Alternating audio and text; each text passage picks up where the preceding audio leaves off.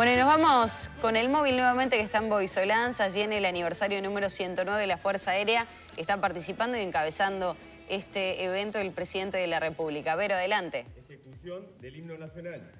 Lectura de la orden del Comando General. Gracias, compañeras. En este momento se está haciendo uso de la palabra en el comienzo de esta conmemoración, como decíamos, en la base aérea Boisolanza. Se hizo la recepción de las autoridades. Luego, el presidente de la República pasó revista a todos los efectivos que están apostados aquí en la base, que recibe además del presidente ministros, también al presidente de la Suprema Corte de Justicia. Se habló también de la presencia de expresidentes de la República, que más allá de que no pudimos verlo, sí se agradeció su presencia al comienzo.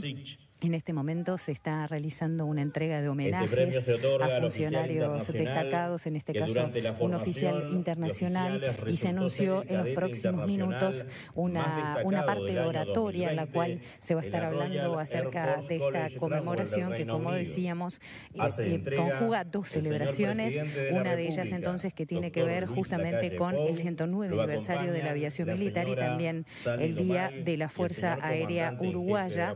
De esta forma, como podemos ver, se han entregado algunas ofrendas florales en reconocimiento del momento y de a poco vemos acercarse al presidente de la República justamente para, para hacer esta, esta entrega, importante cantidad de asistencia en este momento en la base que se encuentra bastante alejada, pero en Montevideo, en la zona de Pedro de Mendoza, pasando bastante General Flores. Lo vemos entonces acercarse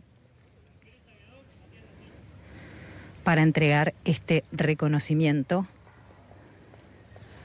y en minutos nada más va a comenzar la parte oratoria. También se agradeció la presencia de ministros y de otras autoridades. Está el ministro de Defensa, Javier García, lo vemos en primera plana. También el secretario de Presidencia, Álvaro Delgado. Está también Rodrigo Ferrer, entre otras altas autoridades de gobierno. Si les parece, a medida que vayan transcurriendo los minutos, les vamos a ir contando lo que sucede y esperaremos si contamos con la palabra del presidente al final de esta se hará entrega el premio Seguridad de Vuelo, premio al mérito y premio al mérito aeronáutico.